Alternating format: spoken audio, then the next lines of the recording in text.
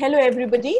Welcome to the Sustainable Development e-talk series, co-hosted by CNS and Indian Institute of Management Indore. Our keynote speaker for today's talk is none other than Dr. Sandeep Pandey, as we all know, who is a noted social justice activist and Ramon Magsaysay awardee. Uh, is well known and respected for leading several people's struggles and social justice movements in the past three de decades. Dr. Sandeep Pandey has been with us earlier too on this SDG Talk series, but we can never ever have enough of him. Uh, today, he will give us a reality check on inclusive and equitable quality education for all. A very warm welcome from the students of Indian Institute of Management to our esteemed speaker for today's e-talk, Dr. Sandeep Pandey. We are really looking forward to hearing from you, sir.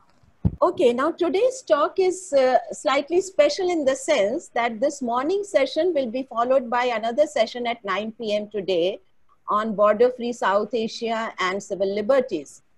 But now I invite Dr. Sandeep Pandey to share his insights on inclusive and equitable education. So let us begin with uh, the literacy rate of India. It is about, so we are going to talk about the um, right to education only in the context of India. Uh, but of course, comparing it to the other countries in the world and how India should follow a model which is uh, well established, tried and tested all over the world, the common school system, if it wants to give education to all its children.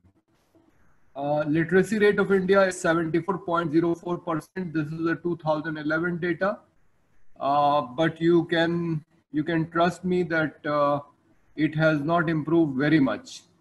After that, the male literacy rate is about 82.14% and female literacy rate is 65.46%. Um, and um, what to talk of uh, improvement, uh, even this uh, figure is inflated because you know, a large number of students in, in our country um, do not take education very seriously and there is a phenomena of mass copying. Children pass their exam by copying. So um, even this figure does not reflect the true uh, ability and knowledge of the students. Um, in 2019, we had an act called the Right to Right of Children to Free and Compulsory Education Act. Uh, but as you would see, just look around and you can see that education is neither free nor compulsory. Every student, even the ones going to the government schools, have to pay something. Um, education is supposed to be free for the children in government schools but you'll find that in the name of one thing or the other, they do end up paying. And um, the private schools, of course, are fleecing the parents and have made a business out of it, uh, um, a very flowering, you know, business. And uh, uh, it is no longer a, a learning and and and and uh, you know knowledge exercise it has become more of a market uh, commodity where uh, you are supposed to receive the education and then yourself you know become marketable. Um, so we have two kinds of education systems in this country. One is for uh, children of the rich and the other for the poor. Oh in the previous point uh, i failed to mention that neither education is free nor compulsory because you can see number of children is still working at tea shops and other places which means they're not going to school. There there might be children coming to your homes with along with your domestic help or or along with the sanitation workers who may be involved in in in cleaning your houses. So which means that they are not going to school uh, in, in my own home, there's a girl who comes who dropped out after four and uh, fourth class. And uh, in spite of convincing her mother that she should let her go to school because this young girl was interested in going to school, the mother did not put this girl into school because she was afraid that after her, uh, her family will not be able to retain these five houses which, which she serves. So she wants her daughter to to grow up and, and take over these these houses where she has been cleaning so that you know there is a secure income for the family. So that is how the the the children of more the, the laborers, you know, who a lot of whom we have seen during this uh, lockdown crisis walking on highways. Uh, so children of, of uh, such class, uh, they uh, either don't go to school or their education is disrupted at some point and then they are not able to uh, complete their education.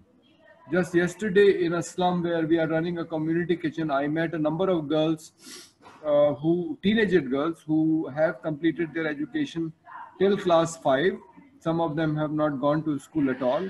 And they they do want to go to school but then you know their families would not let them go with girls there's this additional problem you know that their parents want them to be married off early so that there are no untoward incidents you know like the girl running away with a boy or something like that. So uh, they they uh, would like to uh, the girls to drop out and get married so that you know their responsibility is over. This is a big problem among the poor section. Uh, so uh, as i mentioned education is neither free nor compulsory and uh, in our country because there are two kinds of education systems one for the children of rich and the other for the children of poor uh, the education actually widens the gap between the rich and the poor. Uh, one would expect that, uh, you know, the education would reduce the gap between the rich and the poor, but the reverse is happening in this country. The, the children of the rich who go to uh, so-called better schools, better in the sense that they prepare them better for the market, that's all. Uh, it's, it's got nothing to do with knowledge. Uh, so the gap between such children and the children of poor who, who drop out at some stage, do not complete their education, or even if they are able to complete their education somehow uh, by mass copying or, or, or whatever means, they, their education is not of a quality where they can get good jobs. There are exceptions, of course. We hear of children of, of uh, uh, daily wage worker or some vendor who gets into IITs but but uh, uh, such cases are very rare. So education in a way strengthens the hierarchical and social structure in this country. You know, we have, because of the Hindu religion, we have a hierarchical structure in our society, which is called the caste system. And as you know, um, traditionally only the upper caste children were allowed to get education. We have the famous story of Eklavya. Um, uh, so children of the uh, the lower caste or the Dalits, tribals, Eklavya was a tribal. They were not uh, allowed to, to access education. Uh, so uh, that structure is uh, pretty much continuing because the class and the class, class and the caste lines are, are very parallel in India, which means that most of the rich class, the, the upper class, the upper middle class, is uh, dominated by the upper castes also, and most of the poor, uh, you know, would be either OBCs, um, and even even among the OBC OBCs, the the weaker among the OBCs and the Dalits. Uh, Dalits, uh, which will include the scheduled caste and scheduled tribe both. So, um, in a way, uh, the same hierarchical structure is being uh, strengthened because of the education. Uh, one would have expected that education will will do away with the caste system and the hierarchy, but uh, doesn't seem to be happening. As an example, there are 100 reserve posts for scheduled caste professors at Banaras Hindu University, but not a single of them filled because uh, you know nobody has been found suitable enough. That is the technical word, not found suitable. NFS. Whenever the scheduled caste professor would appear for an interview, he or she would be declared not found suitable for the post. So they never make it to the to the very top posts, and that is why the the uh, caste system, you know, is reflected in all our institutions. Um, uh, it is so in effect education is being used in india by the elite to conquer uh, disproportionate benefits for themselves at the cost of poor uh, why do i say disproportionate? Uh, it became very clear in this uh, lockdown crisis. The there is a huge gap between the incomes of the rich and the poor um, at least uh, you know 20 times. Uh, whereas you know the famous socialist thinker dr lohia said that the income between the rich and the poor should not be more than 10 times. But in our country, especially after the neoliberal economic policies, the incomes have income gaps have increased vastly, and and and uh, education is being used by uh, the elite to essentially uh, maintain this gap and to further widen it, and and therefore you know uh, they they end up uh, cornering uh, disproportionate benefits the, for themselves at the cost of poor. We saw how the poor suffered uh, uh, because of this crisis. At least 18, 80 people have died on on railway, whereas nothing happened to the people who were brought back to India by the Vande Bharat program, which means by flight from the from the foreign countries uh, so the concern that the government shows for the for the rich, the policies that are that are made uh, to favor them, that kind of sensitivity is not shown uh, for the poor. To give you another example, um, if you are uh, a government employee on a high position and you want yourself to be treated at a private hospital you can uh, there are ways you can convince the government to pay for your for your treatment in a private hospital so a number of uh, you know top ranking bureaucrats and politicians would get treated at the private hospice, hospital at government's expense but if you are a migrant laborer and you are not using a government transport to return to your home in this crisis you will not be paid the thousand rupees uh, relief when you reach your village or you will not get the relief packet of ration. So uh, mm, uh, flour and rice and, and dal, pulses, whatever people are getting when they reach their homes, the migrant laborers, they, it, they are eligible only if they have used a government transport, not otherwise. Whereas the same rule doesn't apply to the elite. Uh, their children can go to private schools, they can get themselves treated at private uh, hospitals and they can use all privatized they can use private aircraft to private airlines. Aircraft belonging to private airlines to travel for the government meeting and they can be compensated but not the migrant labor. Uh, so jyotiba phule uh, a pioneer in the education of dalits and girls in india along with his wife, Savitri Bai Phule, had said in, 19, in 1882 that the naive belief that all education is necessarily good, both for individual and for society, and that it will necessarily lead to progress can be as harmful as it is misplaced. Quantitatively, education can be organized to promote social justice or to retard it history shows numerous instances where small social groups and elites have used education as a prerogative of their rule and as a tool for maintaining their hegemony and perpetuating the values upon which it has rested. On the other hand, there are cases in which social and cultural revolution has been brought about in a system where equality of educational opportunity is provided and education is deliberately used to develop more and more potential talent and to harness it to the solution of national problems. So um, in, in our own country, we can see in Kerala how education has been used to, to promote uh, uh, an equitable society.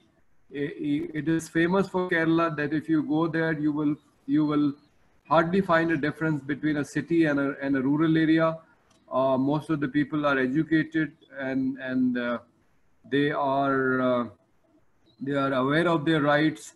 Um, in the lockdown period itself, Kerala has been praised for handling the coronavirus crisis in, in uh, the best possible manner among all the states in India.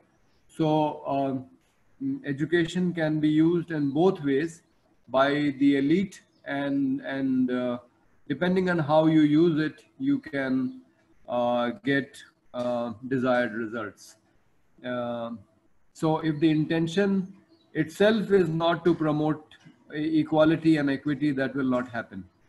Uh, which is the case, uh, uh, which appears to be the case with with uh, with India. it will become more clear why I'm saying this. So in in 1964, a Kothari Commission was formed to look into the question of education, and and the report was completed in two years, um, and it was tabled in the Parliament, and in 68 and, and two important recommendations of this commission were uh, that there should be a common school system, which means uh, we should provide equality of access to all children and parents should not have to send a, a child to any independent school. Independent school means private school. And the neighborhood school plan should be implemented uh, to end the segregation between schools for privileged and underprivileged. So these two concepts go together, the common school system and the neighborhood school. So neighborhood school is that your child goes to the nearest school. So which means if rich and poor are living in a locality, then uh, the children of both will go to the same school. This is the concept which has been implemented as part of common school system in lot of countries of the world. Uh, to give you example, all, all G8 countries um, you know, have implemented it. Uh, and among the developing countries, uh, Sri Lanka, Iran, Southeast Asian countries, Malaysia, Indonesia, you know, all these countries, and Central Asian countries like Kazakhstan, Uzbekistan, and all, uh, they have implemented the idea of common school system to achieve uh, universal elementary education uh, and, and that is possible only with a strong state-funded and state-regulated common school system. When we say common school system, we always mean that it is funded by uh, state and regulated by state.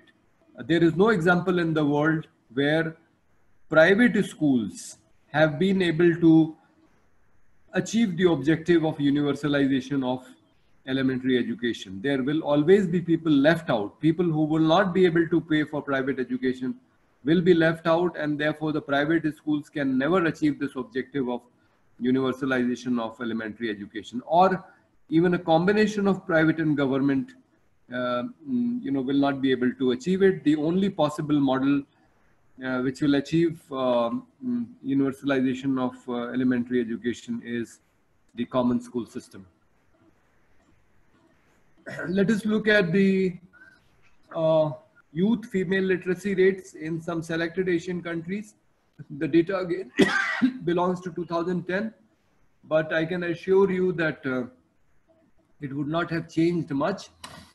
Uh, so uh, uh, the female literacy rate, um, young female literacy rate um, in 2010 in India was 74%, uh, Bangladesh 78, Nepal 78, Pakistan 61 is the only country which is below India. Uh, Sri Lanka was way above 99. Um, China was 99, Indonesia was 99, Malaysia was 98, Philippines was 98, Thailand was 98, and Vietnam was 96. So you can see that all Southeast Asian countries and China and Sri Lanka are either 99 or in the very high 90s, whereas uh, mm, you know India, Pakistan, Bangladesh, um, and Nepal are are uh, you know less than 80%, and the situation of India is only better than that of Pakistan. Even Bangladesh, uh, a smaller neighbor, is ahead of India in terms of female literacy, and that explains why uh, the the um, socio-economic indicators of Bangladesh are are better than that of India. You educate your women, and you can improve all your socioeconomic indicators. This is uh, a, a,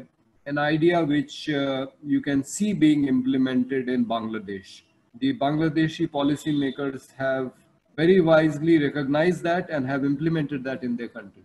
Uh, but what has happened uh, the other comment that I would like to make is all these countries which have high 90 literacy rates are the countries which have implemented common school system, which means the children have access to the same quality of school, more or less the same quality of school, and and uh, you know schools are run um, by uh, in in for example in the United States they are run by the local government but the, the curriculum and the textbooks and all that would more or less be same. The, uh, the standards that, that are expected to be maintained by the school would, would more or less be same. Uh, it will just depend on what kind of uh, population is, uh, uh, is using the services of the school. That will make uh, some difference. For example, if it is um, a primarily white population, uh, who are rich, then um, materially the school may be better than a school, for example, in a black no poor neighborhood, but the the content and the quality of education would be uh, about the same. Uh, in our country, there has been an avoidance of common school system. That is the history. So the government first ignored the Kothari Commission recommendations uh, of 68, none of the governments after 68 have cared to implement the Kothari Commission recommendation. It was only in 1993 when a Supreme Court judgment in the case of Unni Krishnan versus the state of Andhra Pradesh uh, came which made education as free and compulsory and, and a fundamental right of children under the age of 14 years. Uh, immediately after that, um, a Saikia committee was formed. Saikia was a state uh, mm, education minister in that government um, to look into uh, the question whether uh, elementary education can be made a fundamental right. Now, here I must point out that when the Constitution of India was being drafted, Dr. Ambedkar wanted education to be a fundamental right, but there was uh, a lobby of the um, rich uh, landlords and and uh, and businessmen who did not want education to be made compulsory. And their argument was that there are not enough resources in this country that the that the country can afford uh, to make education free and compulsory for everybody every child. And therefore uh, mm, uh education was not made a fundamental right. Uh, it was a subject under the directive principles and the government was supposed to work towards achieving um, universalization of elementary education. But uh, um, only in in 93 when the supreme court judgment came the government started looking at uh, seriously looking seriously at this issue. And therefore the Saikia committee was formed. And the Saikia committee came out with a recommendation saying that free elementary education can be made a fundamental right through a constitutional amendment. So then it was decided that the question of financing should be looked into, whether the country has enough resources to, to take care of the educational expenses of all the children. And therefore, in 1997, a Tapas Majumdar committee was formed to look into this question. And this committee came out with a report saying that uh, if you were to implement uh, free and compulsory uh, education, elementary education, uh, then only an additional investment of 0.86% of GDP in 98 99 was required 0.86% the national spending uh, on education at that time was 3.9% of gdp and uh, the Kothari Commission recommendation was 6%. So we were spending much less than what Kothari Commission had, had recommended. But the important point is that even without spending that much as recommended by Kothari Commission, even by just increasing our educational expenses by 1% of the GDP. So from 3.9%, it needed to be increased by 0.86%. And Tapas Majumdar committee felt that that would be enough to take care of the uh, elementary educational needs of this country. Universalization of elementary education.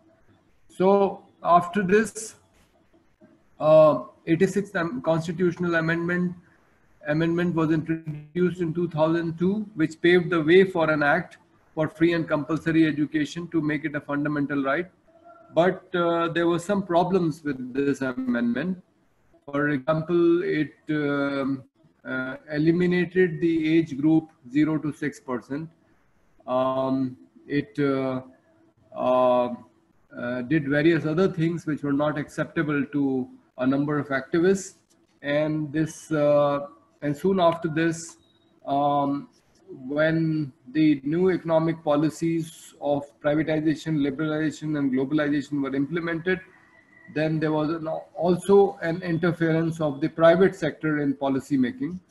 So government's committed commitment to universalization of elementary education got diluted uh, because of the interference of international financial institutions and a shift towards privatization was perceptible. Government also wanted a role for extra constitutional bodies in the draft bill with no guarantee that would work within the framework of the constitution. So this bill could not pass after three attempts. It was only uh, during the Manmohan Singh government um, that uh, there was uh, uh, uh a bill moved. Uh, mm, there was a Central Advisory Board of Education, which considered this. Kapil Sibal was member of it, not as the minister for HRD, uh, which uh, uh, who was Arjun Singh, but Kapil Sibal as Minister for Ocean Technology or something was there as a member and he was given the task of preparing the draft for the bill. Um, he, he made a draft and this draft uh, uh, was opposed by uh, especially Anil Sadgopal in the in the CABE meeting, and uh, there was heated arguments between him and uh, the minister Kapil Sibal, uh, after which uh, mm, the CABE, the government decided not to call any CABE meetings, and in 2009 pushed this bill and and made it into a law.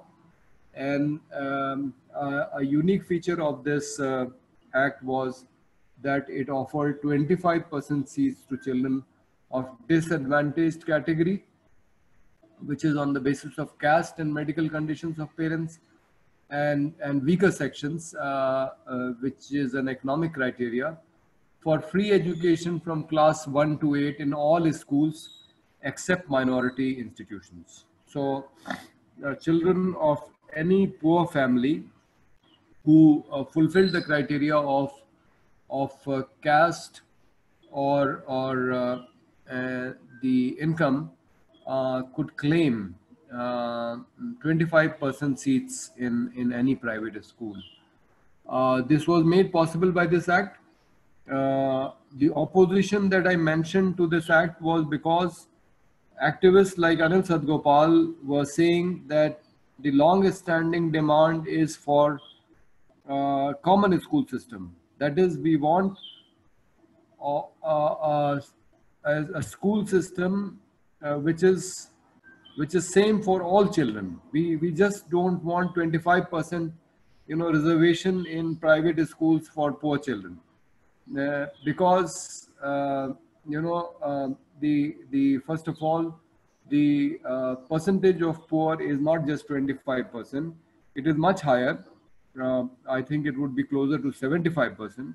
And secondly, the percentage of private schools uh, would be less than uh, that of the government schools. So this provision of 25% seats for children from uh, underprivileged background was not enough to uh, cover all the poor children.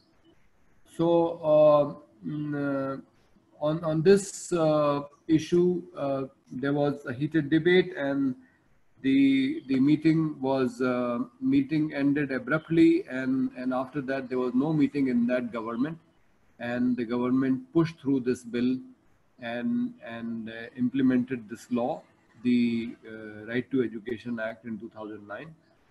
But the private schools are not very serious about uh, admitting uh, children from uh, disadvantaged or weaker sections. And uh, especially in Lucknow, um, I can see that Praveen Srivastava is also there. We have been uh, waging a struggle against the the biggest school, um, the so-called biggest school. Uh, they they claim to um, uh, be running the biggest school because they have some 17 branches and, and 50,000 students enrolled um, in the city uh, and City Montessori School. They have been um, stoutly refusing to admit uh, any any children whose admission is recommended by the district level education officer, the basic Shiksha Adhikari, uh, under this act. So, which means that this particular school is not following the law and is uh, uh, has become an obstacle in the way of implementing the Right to Education Act.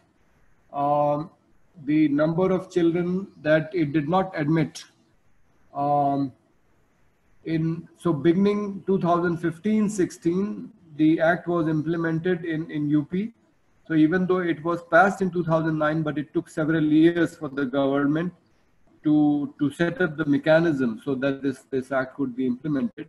So under section 121c of this act uh, 25% children are supposed to be admitted to all the schools belonging to disadvantaged category and weaker sections and admissions to City Montessori School in Lucknow have been ordered by the Basic Shiksha Adhikari of 31 children in 2015-16, 55 children in 2016-17, 296 children in 2017-18, 250 children in 2018-19, and um, about 193 or 4 children in, in 2019-20 but the school has admitted just 13 out of 31 children in 2015-16 and that too because of an order from the high court.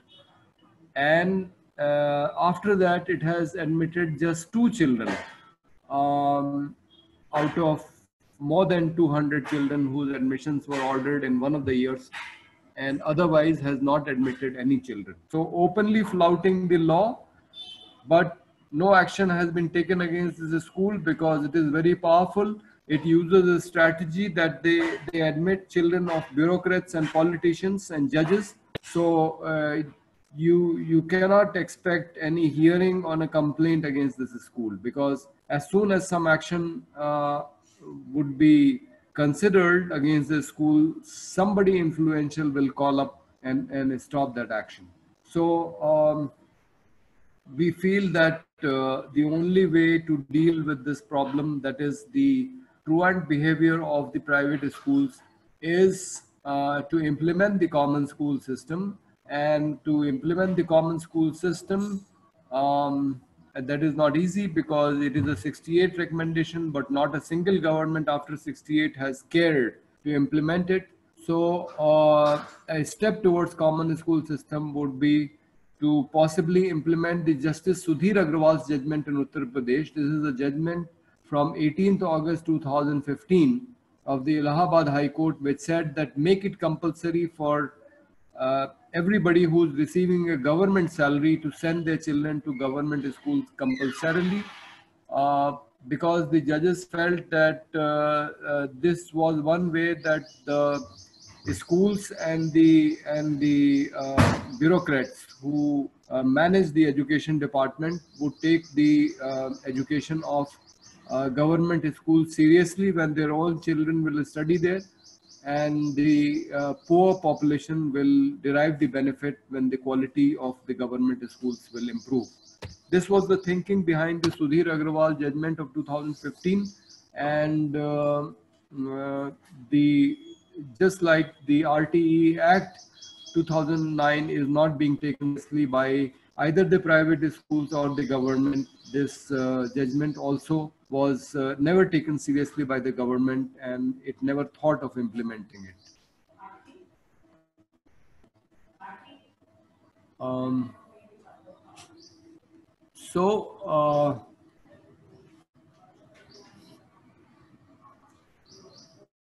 uh, um,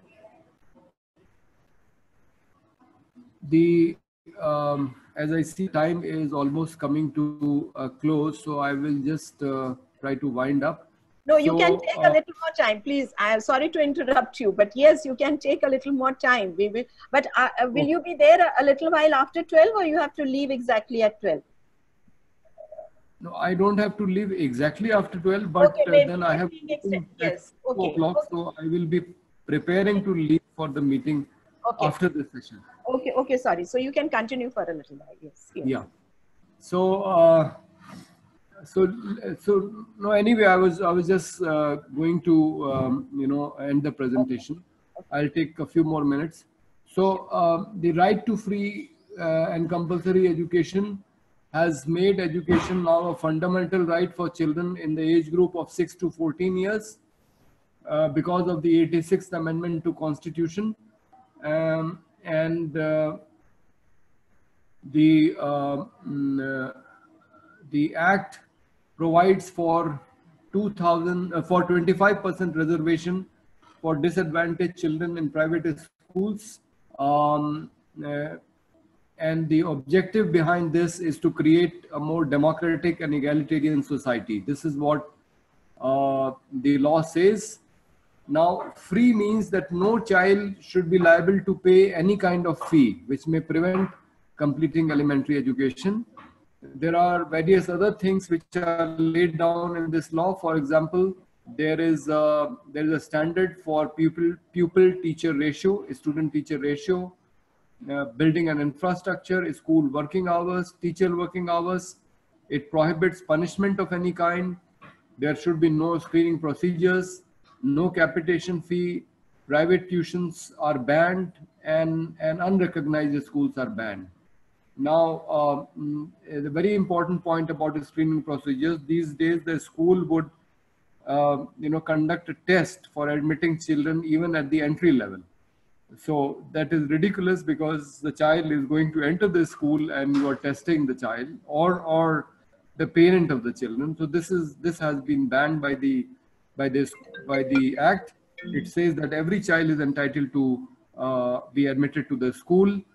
Um, and secondly, um, the the act initially had a provision that uh, mm, there would be no exams till class 8 um, so there was a no detention policy and this policy was there because um, half the children in india who are admitted to uh, to schools um, they drop out before the class 8 stage.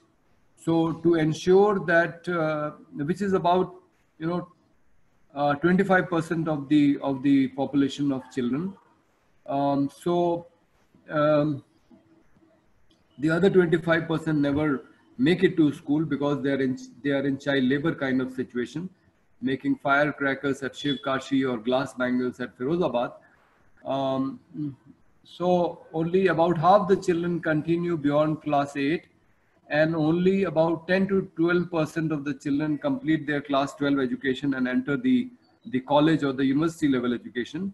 So um, in order for uh, a greater number of children to be able to continue their education because uh, beyond class 8 a no detention provision uh, was introduced by this act but unfortunately the the bharatiya janata party government and even governments like that of arvind kejriwal were not in favor of this no detention policy and they have removed it.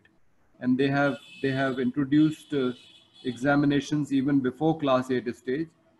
But uh, during uh, the coronavirus lockdown of course it was not possible to conduct examinations and therefore the government uh, allowed the children to, to, to be promoted even without examinations till class 8, uh, which is how it should be. Uh, but uh, anyway, the, this particular government thinks differently. Um, so uh, the act, act clearly said that no child should be held back, expelled, or required to pass any board examinations. Uh, that is till class 8. And there was supposed to be a provision for special training of school dropouts and the responsibility of ensuring enrollment, attendance, and completion of education was entirely that of the government. Uh, the, the act which was introduced by the Atal Bihari Vajpayee government wanted to put this responsibility on the parents, but uh, that uh, mm, uh mistake was corrected and the, the act introduced by the Manmohan Singh government put the responsibility on the government, uh, which is how it should be because uh, for a poor family, uh, you know, it, it may not be possible for the parents to uh, ensure education to, to their children and therefore then it becomes the responsibility of the government. Um, so um, um, in this entire debate um, of, uh, you know, privatization of education and the private schools not letting um, the Right to Education Act uh, of 2009 implemented um, mm, according to the spirit of the law, uh, a larger question arises, and that is what is the purpose of education?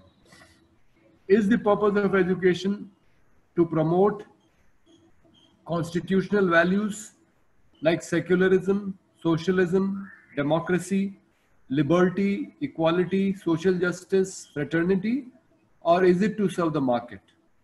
Because increasingly it appears that education is just preparing our children for a role in the market. And, and uh, then the citizens abdicate their social responsibility and, and we create a situation like we have in the present lockdown crisis where you know uh, nobody is worried about the condition of the migrant laborers. Neither the government nor the courts or even the elite sections of the society.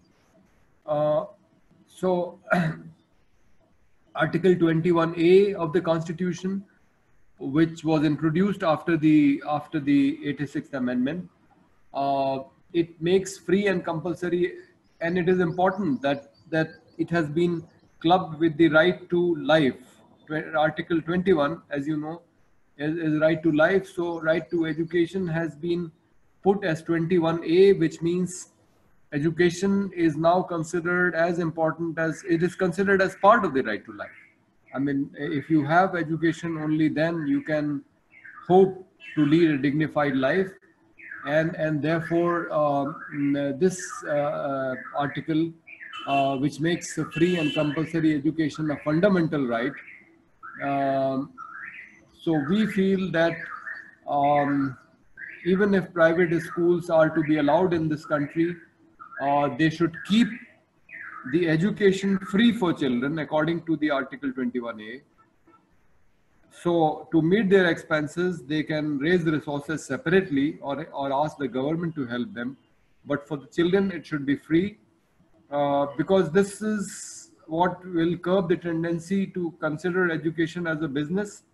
Uh, now institutions are busy making profit out of education. Um, and um, um, in the spirit in which the Article 21A was, was introduced uh, to, to make free and compulsory education as fundamental right, um, uh, we have to ensure that uh, you know, uh, several steps are taken. Um, Sudhir Agrawal's judgment implemented. Um, the private schools, even if they are allowed to function, should make the education free. And ultimately, we hope that uh, through nationalization of education, which means uh, the government, um, eh, if not taking over the private schools completely, at least ensuring that uh, that there is a common school system that even if the private schools exist, they don't charge any fees. They raise their resources separately and they implement uh, a common curriculum. They maintain the same standards and as the government schools and uh, um, uh, the spirit of common school system is implemented in this country. Uh, this is what we hope because uh, that is the only uh, tried and tested way to make sure that uh, universalization of elementary education, um, you know, is achieved in this country. So that is where I will end because um, now there is just 10 minutes for interaction. And I can already see some comments are coming. Yes, yes, yes. Uh, thank you very much, Sandeep ji. And we now open for question and answer session. The participants, please type in your question in the chat box or you can raise your virtual hand if you wish to speak. And uh, I think uh, this time is really very less to really deliberate and discuss about the quality and the type of education we are getting in India. Um, I have a lot to say on this too because I have been a teacher. But before that, before I give my comments, uh, I think uh, we have many questions, as you said already there. Uh, Sai Sushma wants to ask a question. Would you like to ask yourself, uh, Sushma? Sushma wants to know when do you think will be the right time for a merit-based system to be followed? Perhaps she means at what level of uh, uh, education? Yes, uh, Dr. Pandey.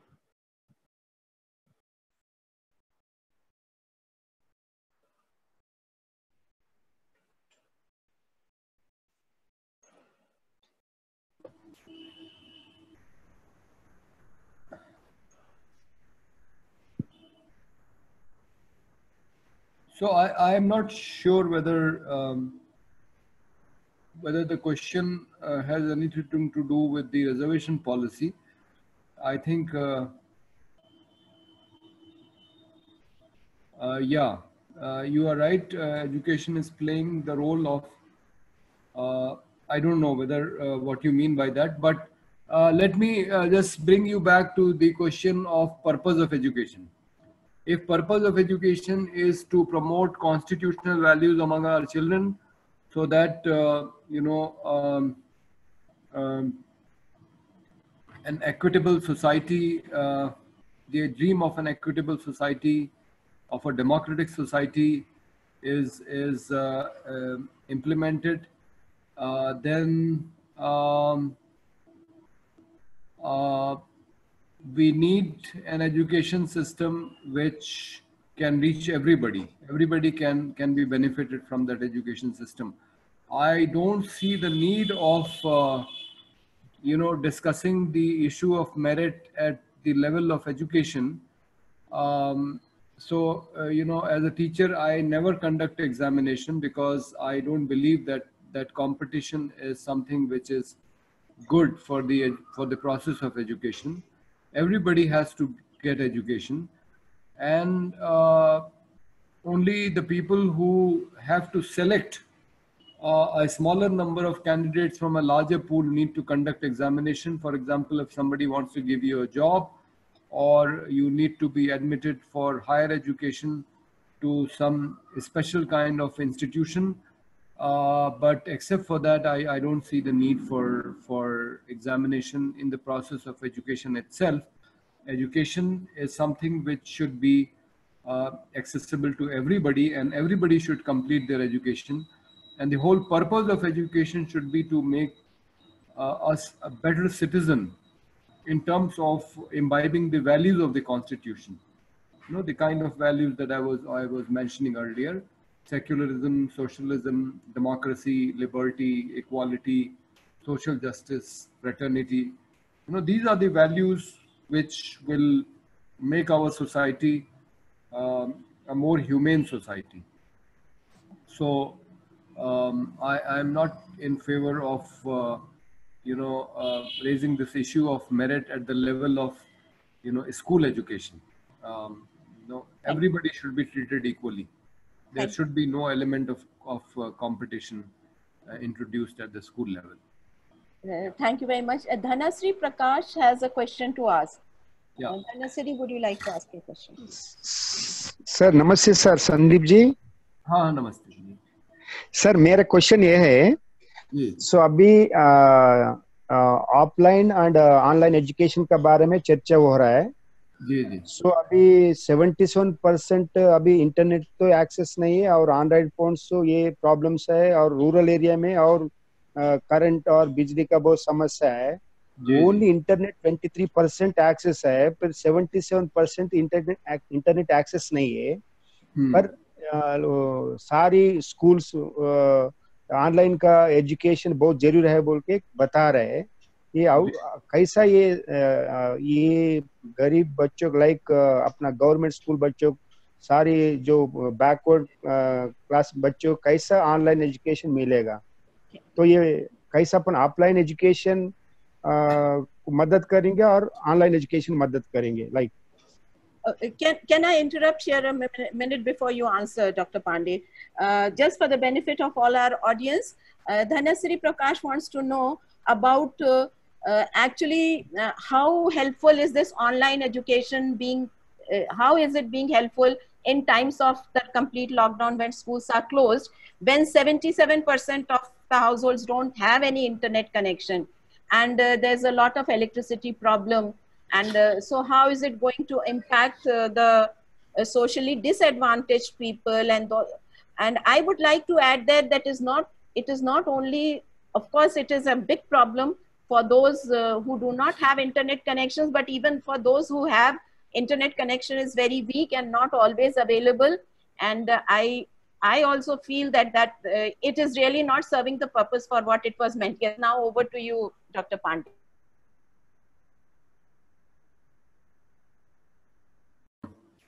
Uh, online education was asked by um, Dhanashri Prakash ji.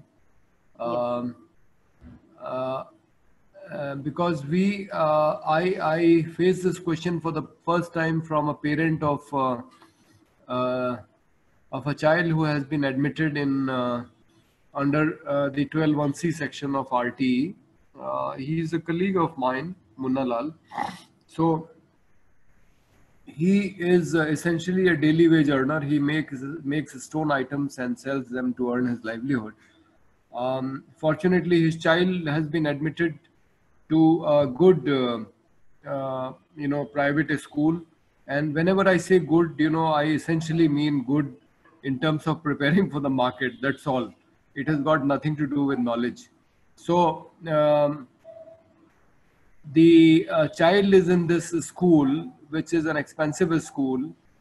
Now the school is conducting online classes, and Munna Lal was asking me, how can my child participate when I don't have a smartphone? So that is a real problem for the poor segment of the population who do not have, you know, good mobile phones. A person like me doesn't keep a mobile phone. So how do you expect, uh, you know, uh, such people um, to uh, to get the benefit of all online education? This is um, something which happened in the period of crisis, but uh, really uh, at the level of it may be it may be okay to have uh, you know online um, you know interaction um, for a seminar like this where we are discussing ideas. But uh, where uh, you know basic skills are being taught and and more importantly the human values the values the kind of values that we were talking about they cannot be taught uh, by by textbooks. They these values are imbibed by the children uh, from the human interaction. So they they see the adults behaving in a particular way and then they imbibe those values. So that is the only way the human values are transmitted from one generation to another. So for that a physical interaction is necessary and therefore this whole concept of online education um, it has only a limited use uh, and it cannot entirely replace the process of uh, interaction which is required uh, during education. We have a question from Praveen Srivastav. Can you please ask your question? Praveen, Priya Praveen ji. Or can I read out his question perhaps? Uh, Praveen ji So said let- that let after. him say. Yes, yes, please. I yes, think he wants to say. yes, please ask. Yes, please ask. Yes, Praveen ji, please ask Praveen ji बोलिए. I, I, are you sure you, you have unmuted yourself? Yes yes yes आवाज़ आ रही है Yes, we can hear. रही sir school education के medium के बारे में मुझे बात करनी है ज़्यादातर प्राइवेट स्कूल जो है वो इंग्लिश मीडियम में बच्चों को पढ़ा रहे हैं बहुत छोटे बच्चों को। उस एज में जबकि बच्चे ज़्यादातर जिनको ऑल ओवर वर्ल्ड रिकमेंड किया जाता है कि वो मदर टंग में पढ़ाई वहाँ पे मीडियम ऑफ़ एजुकेशन जो है इंग्लिश है। तरीके से वो न समझ पाते होंगे टीचर्स ये सवाल ये सवाल भी जो प्र, प्रवीण जी ने पूछा है बहुत महत्वपूर्ण है। क्योंकि जो शिक्षाविद हैं वो तो ये मानते हैं कि आ, शिक्षा जो है वो मातृभाषा में होनी चाहिए। आ, बच्चे के लिए बच्चा चीज़ों को समझे अच्छी तरह से इसके लिए ज़रूरी है कि शिक्षा मातृभाषा में हो। ऐसा सारे शिक्षाविद मानते हैं यही आदर्श है। लेकिन अपने देश में क्या हुआ है कि आ, हमारी गुलाम मानसिकता की वजह से हमने अंग्रेज़ी को ज़्यादा बढ़ावा दिया।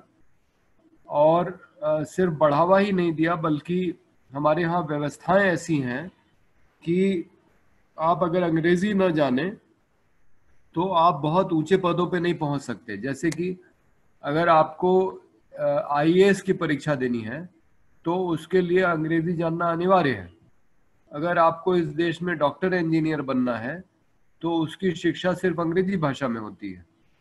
तो इस वजहों से जबकि दूसरे ऐसे देश हैं, जैसे जापान है, चीन है, या दुनिया के ज़्यादातर देश उन्होंने उच्च शिक्षा को भी अपनी भाषा में दिया है और इसलिए ये बिल्कुल संभव है कि अगर हम चाहते तो हम उच्च शिक्षा अपने मात्र, ओ I am sorry I see Lubna there so she will या hello she will criticize me if I continue speaking Hindi. Uh, so, uh, for her benefit or anybody from South India. Uh, so, um, even though, so I'll repeat, even though the um, ideal is that the education should be given in mother tongue, that is what the educationists believe that education can be best imparted in mother tongue. But the problem is that because of our slavish mentality, we have uh, given importance to English language, and and we have we have continued with systems so that uh, it becomes impossible for somebody uh, to reach top positions without the knowledge of English. So, for example, if you want to write the civil services examination, uh, if you want to become an IAS officer in this country, if you want to become an engineer, a doctor, or a judge, then the knowledge of English is compulsory. You have to pass a, a, a paper of English in the IAS examination. It doesn't carry any marks, but you have to clear it in order to get selected. So, uh, you know, unless we remove these uh, restrictions, and like other countries in the world, I mean, after all, when when China and Japan and, and most of the countries in the world can give education in their uh, mother tongue uh, or whatever the local languages, uh, I don't understand why can we not do it. But we have never taken this question seriously, and we continue to uh, use English for uh, higher education, for you know um, specialized education, and therefore over a period of time the poor uh, said that you know if the elite is able to take advantage uh, of english to get to higher positions why should our children be denied with the english education? And therefore now uh, english which was earlier introduced only at the class 6 level is now being taught at the primary school level also. And the Adityanath government, as soon as they came to power in Uttar Pradesh, in spite of whatever they may say about Swadeshi, whatever love they might have for the Sanskrit language, the Adit- Adityanath government made 5,000 primary schools English medium in Uttar Pradesh because that is the popular demand from people. They want their children to be educated to know English. And therefore, uh, you know, one would have expected the BJP government to make the education Sanskrit medium, but that they did not do that. They made their schools English medium, 5,000 of them.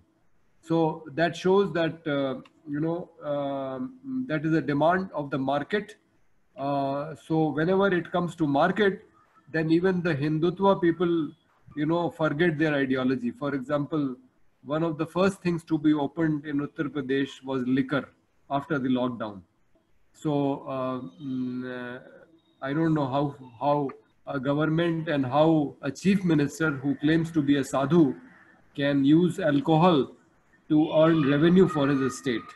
But anyway, market dominates certain things and and that is the case with english language also and that is why english continues to be uh, an important uh, medium of instruction in english uh, that is now how it should have been but unfortunately that is the reality Thank you. One last request to the participants. If you have any questions, please ask quickly because Dr. Pandey will have to leave. And much as, a, as we would like to, we may not be able to extend the session uh, beyond the stipulated time. Uh, meanwhile, we have a question from Mukesh. Uh, Mukesh, would you like to ask your question? Okay, after Mukesh, me please. Yes, okay. No. Yes, Mukesh. Uh, hello. Yes, hello.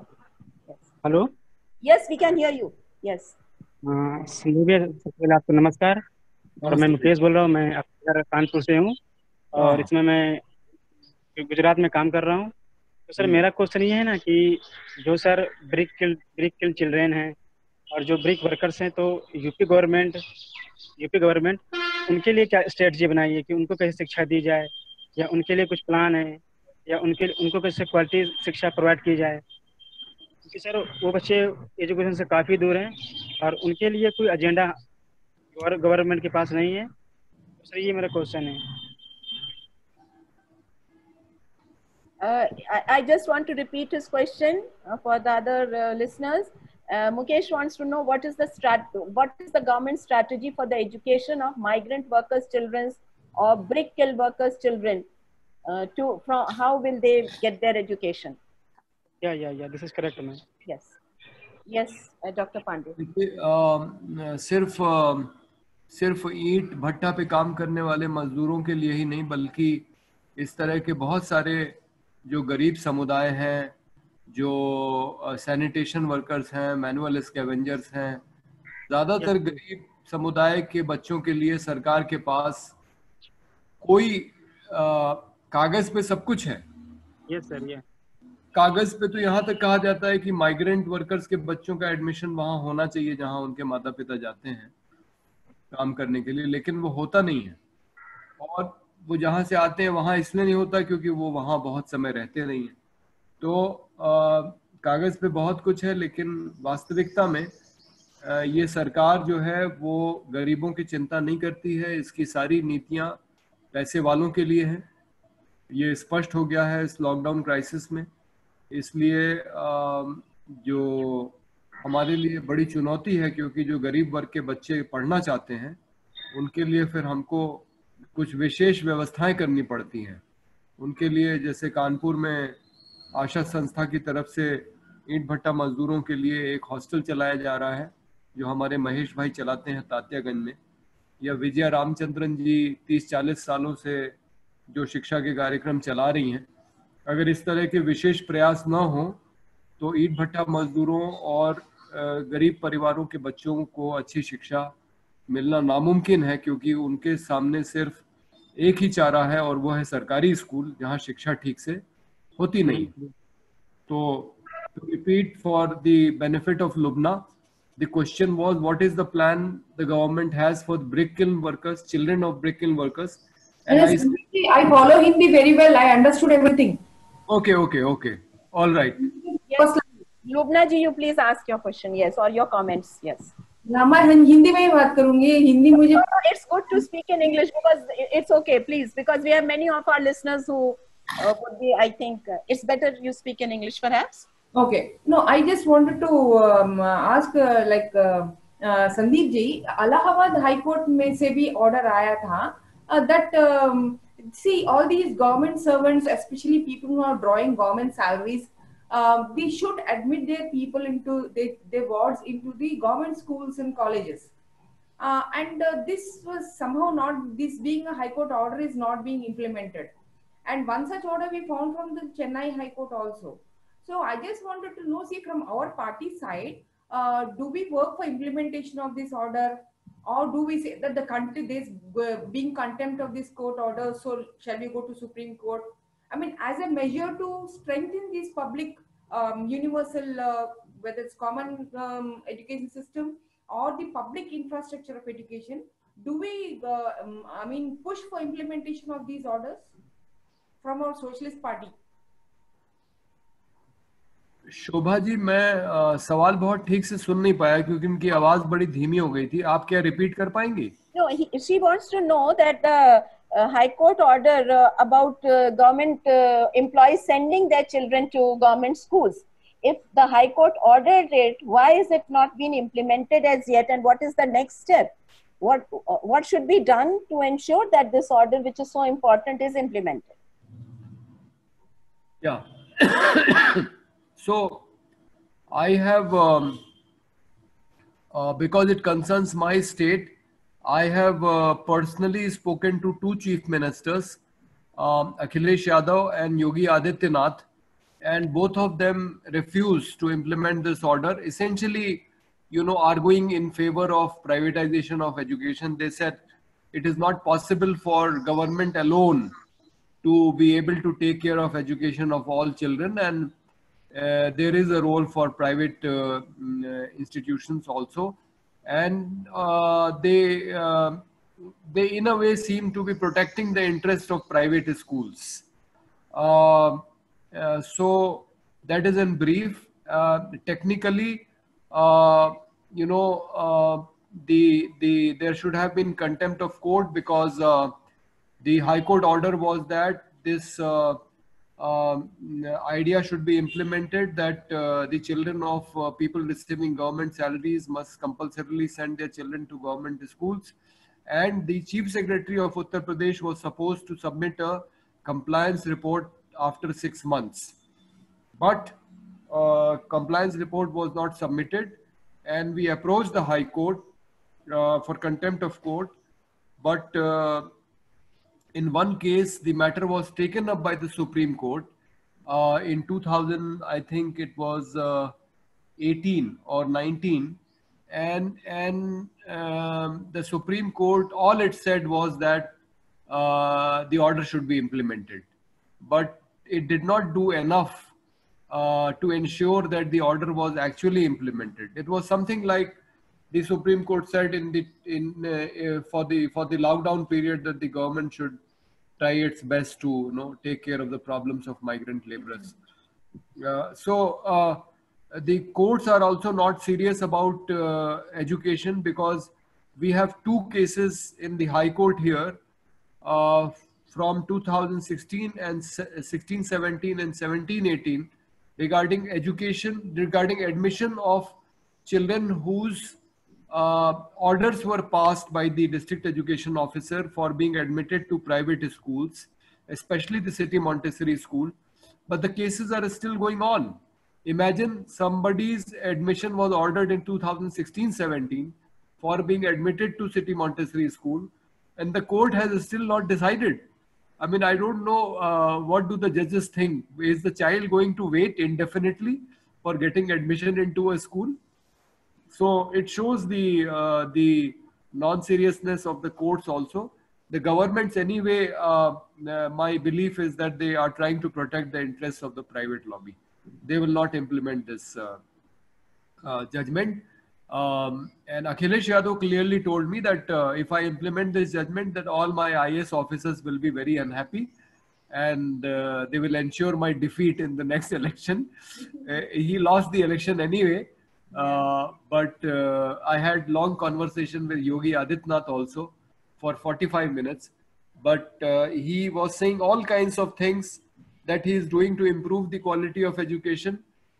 The only thing that he agreed with me was that every children should have access to same quality of education, which is the basic idea of common school system but he did not agree to the implementation of uh, Sudhir Agarwal judgment.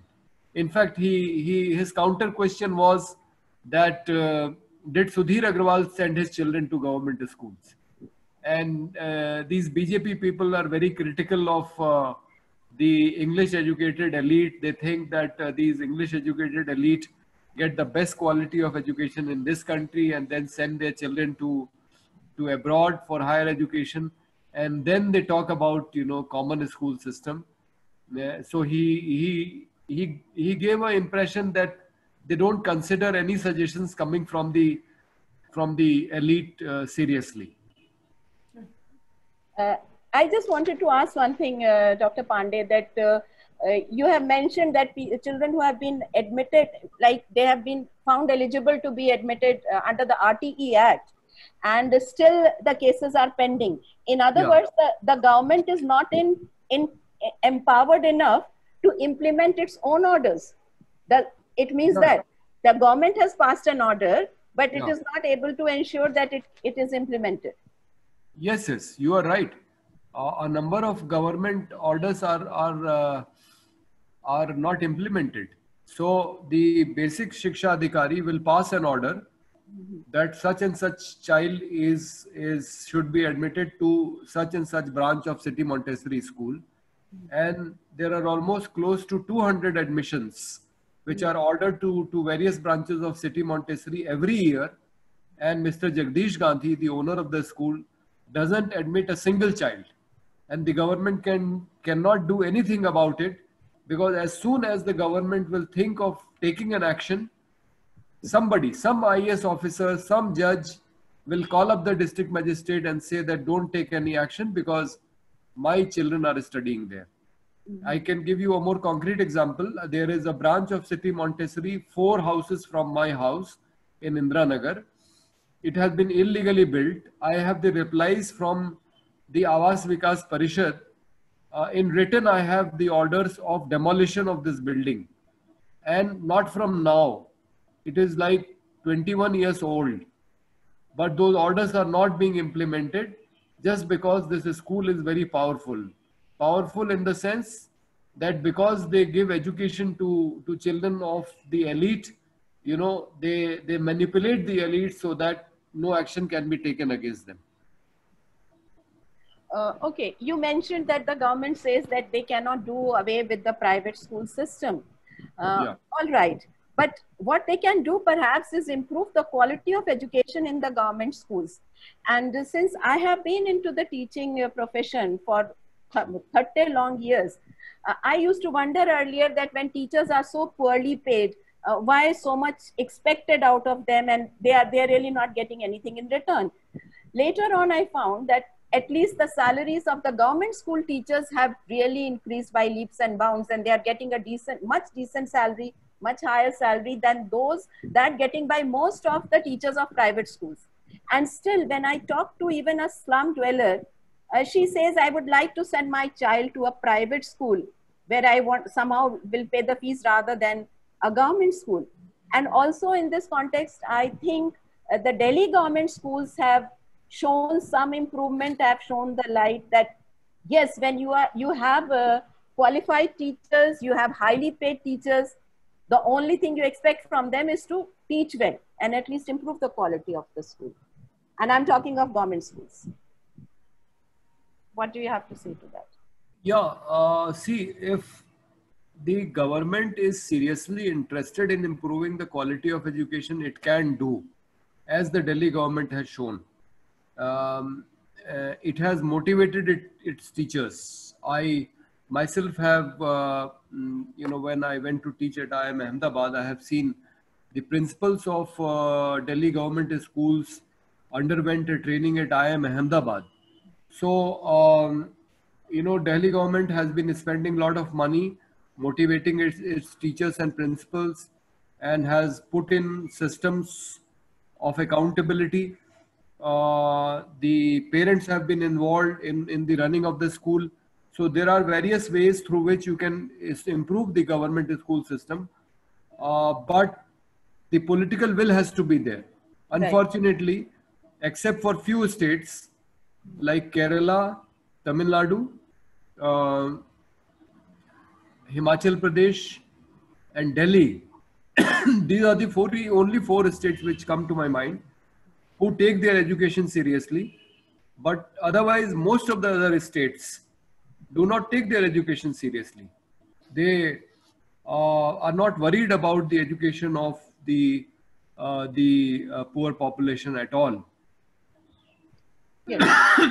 and the the uh, reason seems to be what Justice Sudhir Agrawal says. Justice Sudhir Agrawal says in his judgment that uh, the children of the elite, because they go to the to the private schools, even the children of the government school teacher does not study in the government school. The child of a government school teacher also goes to a private school. So nobody has any stake in improving the quality of the government school. So it has been, uh, um, you know, orphaned the government school system. Nobody is worried about the quality, and that is why you know um, it is in such a bad shape. So it will require a political will at the top to improve the quality of education. But unfortunately, for most of our governments, education is not a top priority. And even in the courts, we see education is not a top priority. Okay. Uh, thank you very much. I think we've already overshot the time, so we will not detain you for more, uh, Dr. Pandey. And with this, we come to the end of today's session. I wish it could continue for a whole day because there is so much still uh, not said or unsaid, uh, but we have to close it today. And in today's morning session of SDG Talks, which was co-hosted by Indian Institute of Management Indore and CNS. We were listening to noted human rights activist Dr. Sandeep Pandey. We will meet again at 9 p.m. today uh, for a discussion on border-free South Asia and civil liberties. And also a polite reminder for tomorrow's SDG talk by Dr. S.P. Uday Kumar on the occasion of World Environment Day. Bye for now and stay safe. And our sincere thanks once again to Sandeep ji and to our participants who really enriched today's talk. So thank you very much. Yeah, thank you, sir. Thank you, sir. Thank you for hosting this. Thank you. Thank you. Thank you, sir. Thank you, sir.